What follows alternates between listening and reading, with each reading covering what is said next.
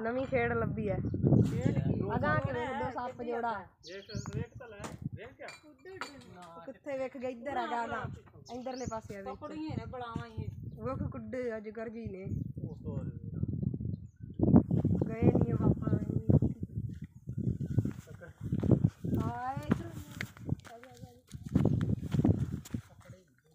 ਉਹ ਵੇ ਲੰਬੇ ਦੇ ਕੁੱਡੇ?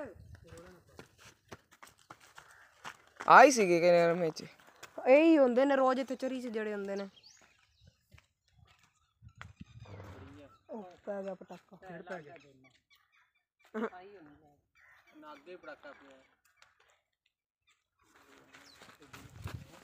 ਖਿੱਚ ਦੇ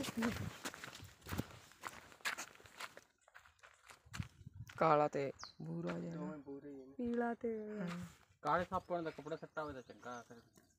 ਕਾਲੇ ਹੀ ਲੜਦੇ ਹੁਣ ਤਾਂ। ਲੜਦੀ ਕੋਈ ਨਹੀਂ ਜਾਂਦੇ ਨੇ? ਪਿਛਲੇ ਸੱਪ ਲੜਦੇ ਗੁਲਦੇ ਕੁਛ ਹੀ ਲਾ ਲਾ ਇਹ ਹੁਣ।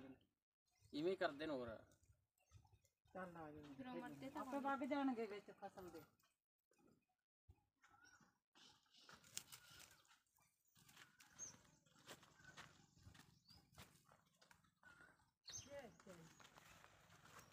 ਜਾਦੂ ਹੋ ਰਿਹਾ। ਬੜਾਵੇਂ ਪਾਈਪ ਨੇ ਉਹ ਤਾਂ ਚੜੀ ਜਾਂਦੇ ਨੇ ਉਹ ਚੜ ਗਏ। ਇੱਕ ਇੱਕ ਹੋ ਜਾਏ ਇਕੱਠੇ ਬਰਾਬਰ ਹੀ ਜਾਂਦੇ ਨੇ।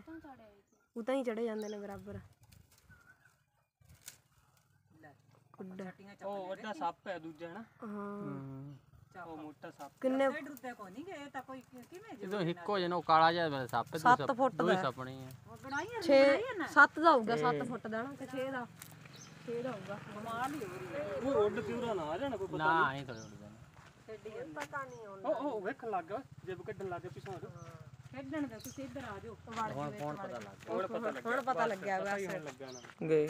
ਗਏ ਵੱਜ ਗਏ।